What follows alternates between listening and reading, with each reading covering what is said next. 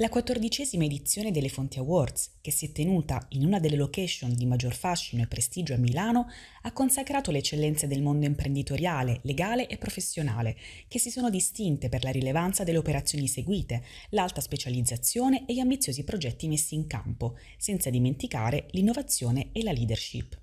La premiazione è stata condotta da Iancor di Le Fonti, punto di riferimento nel panorama dell'informazione finanziaria, economica e giuridica, che vanta una community fidelizzata di oltre 10 milioni di persone in oltre 125 paesi.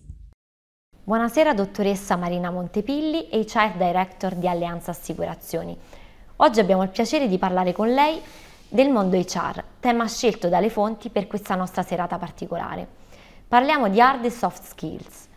Secondo lei, quali competenze sono necessarie oggi per affermarsi nel mercato del lavoro sempre più competitivo? Guardi, è in corso una digital transformation molto intensa e molto veloce, che cambia un po' lo schema e le regole del gioco. Quindi è fondamentale, a prescindere da quali siano le funzioni che poi si intendono ricoprire, qual è lo sviluppo che si vuole avere in un'azienda, avere almeno una base di artificial intelligence, di avere conoscenze almeno basiche digitali, per cui non mi riferisco alle competenze anche di natura tecnica, ma avere la consapevolezza di come questa trasformazione digitale potrà impattare sulla propria professione. Questo è fondamentale e diventa un elemento determinante competitivo per il nuovo mercato del lavoro.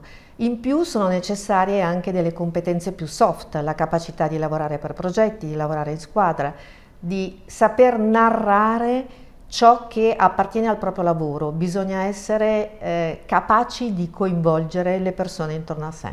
Dottoressa Montepilli, che cosa possono fare le aziende per trattenere i talenti e non perdere personale competente e specializzato? Le aziende devono essere in grado di mantenere le loro promesse. Mi spiego meglio, vuol dire essere sempre coerenti con i valori con cui si spendono sul mercato. Oggi sono i manager nel modello ibrido che personificano le aziende.